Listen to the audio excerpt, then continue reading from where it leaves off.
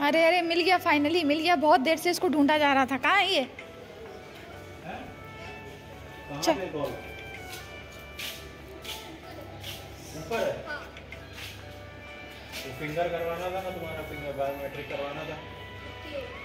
बता देते जब किसी ने तो तो अभी आ जाना अभी करवा देते हैं। ऐड ही तो करना है खाली। तो वो वही बंदा करेगा ना उसको मालूम है कैसे करेगा। अच्छा। कैरी किया था उन्हें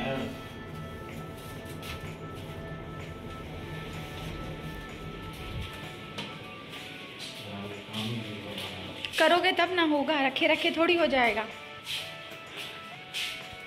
हेलो एवरीवन कैसे हैं आप सभी? तो आज दिन है संडे और अभी बज रहे हैं शाम के साढ़े छः और मैं पौने छः के आसपास ना सो के उठी और जैसे ही सो के उठी तो इन्होंने बोला, नीचे चलो बायोमेट्रिक करवाना है। क्योंकि आजकल ना हमेशा जो है बिल्डिंग का जो गेट है वो बंद रहता है। तो जब भी बंद रहता है ना तो हम ऊपर नहीं आ सकते हैं। मतलब वेट करना पड़ता है गार्ड्स का कि वो कब आएँगे और कब गेट खोलेंगे, तब हम ऊपर आएँगे। तो इसी वजह से ये बोले, चलो, जितने भी लोग हैं फटाफट करवा लेते हैं घर के। सिर्फ़ मम्मी नहीं गई थी, बाकी मैं और ये गए थे और अयन नीचे खेल रहा था उस टाइम पे, वो मिला नहीं तो उसका बस रह गया था। तो उसे ही हम लोग ना ढूँढने में लग गए थे और तब तक वो जो है ना मैनेजमेंट जो यहाँ पे संभालते हैं, वो भी कहीं चले गए थे। तो आज उसका काम जो है अटक गया, लेकिन हम दोनों का हो गया। तो ये बहुत ज़रूरी था, नहीं तो क्या है ना कि फिर मुँह देखते बैठना पड़ता है कि अरे कोई आएगा, तब है ना गेट खोलेगा, तब हम ऊपर आएँगे। तो बस अभी मैं संग के संग ना नीचे गई थी तो दूध लेके आई हूँ और काफ़ी दिन हो गए थे। अयन बार बार बोल रहा था कि पाव भाजी बना दो।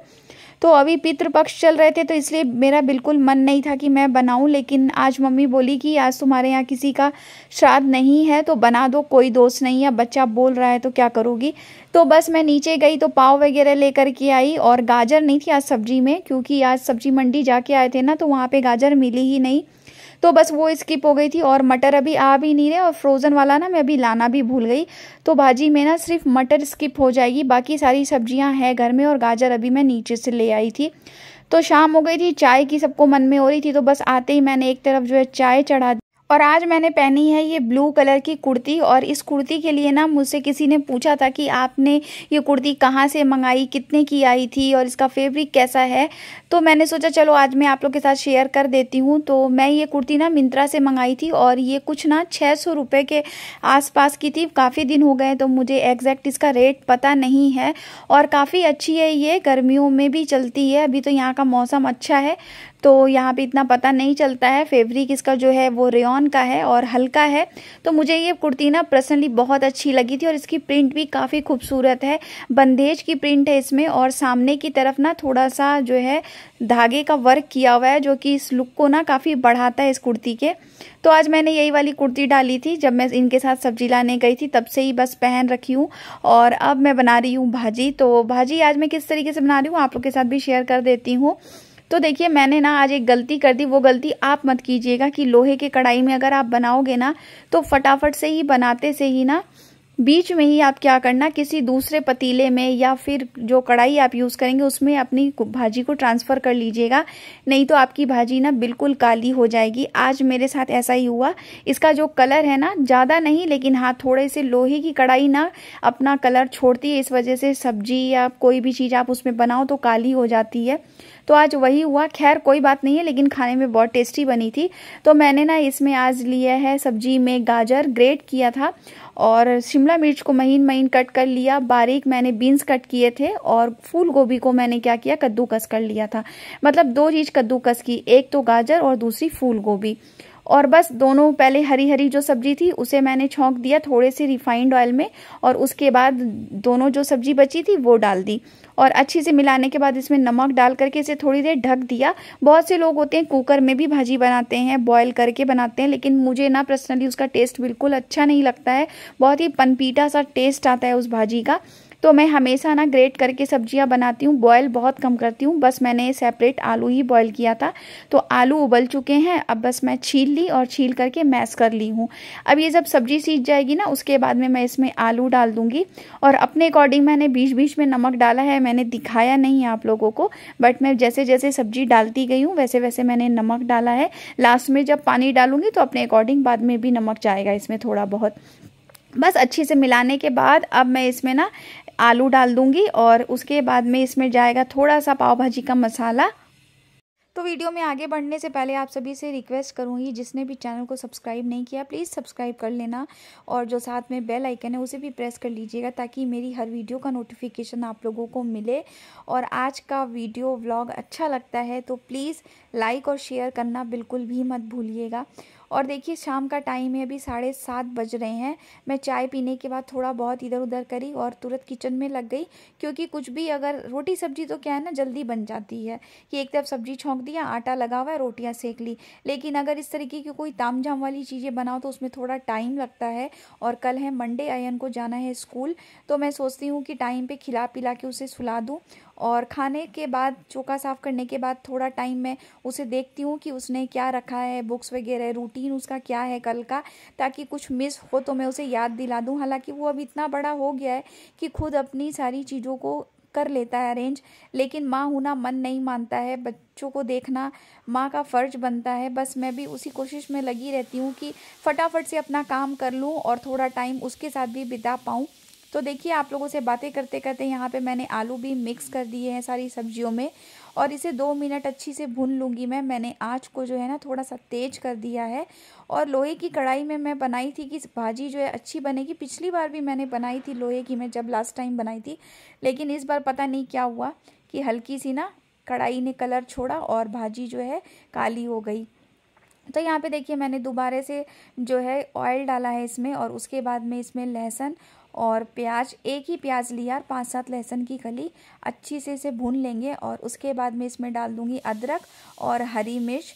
उसे भी अच्छी से भुनने के बाद मैंने चार मीडियम साइज़ के टमाटर को कट कर लिया है वो डाल दूँगी। मैंने आज प्याज की क्वांटिटी कम रखी है और लहसुन की ज़्यादा रखी।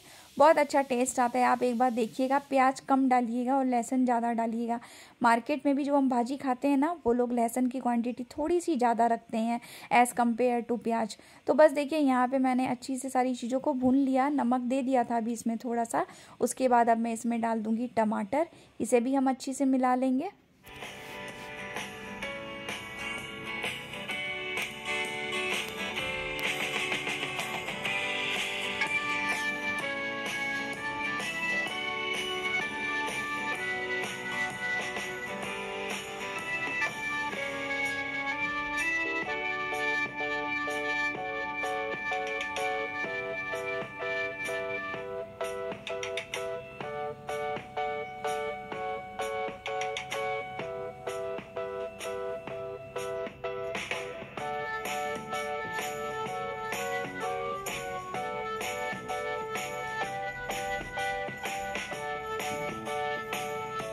तो ये देखिए भाजी बिल्कुल बन के तैयार हो चुकी है और मैंने इसे ना स्टील की कढ़ाई में ट्रांसफ़र कर लिया लास्ट में।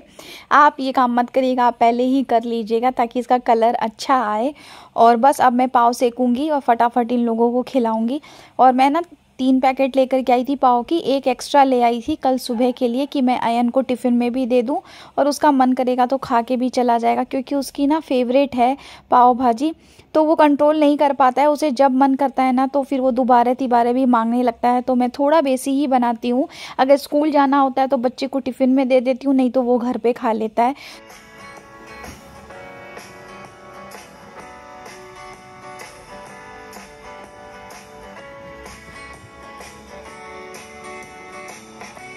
और अभी मैं इसकी एक्सपायरी डेट देख रही थी क्योंकि मुझे ना ब्रेड पाव ये सब में ना बड़ा डाउट रहता है। मैं कोई भी चीज़ इस तरीके की लेके आती हूँ तो पहले उसकी मैन्युफैक्चरिंग और उसकी एक्सपायरी ज़रूर चेक करती हूँ क्योंकि ना शरीर का मामला है, कोई रिस्क नहीं लिया जा सकता।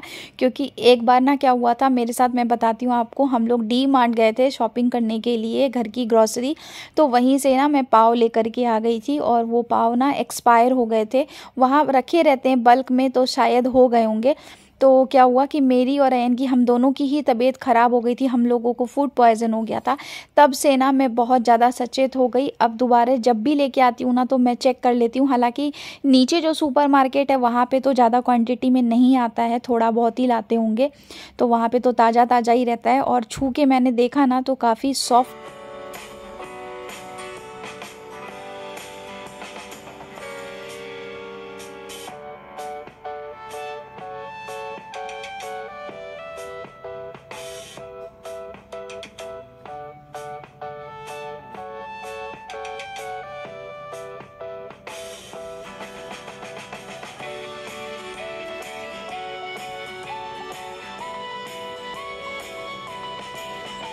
तो बस यहाँ पे मैंने प्लेट लगा दी है अयन की और अयन के पापा की, वो दोनों साथ में खाएँगे और तब तक मैं और पाव सेक लूँगी। तो आ जाइए, आप लोग भी पाव भाजी खा लीजिए।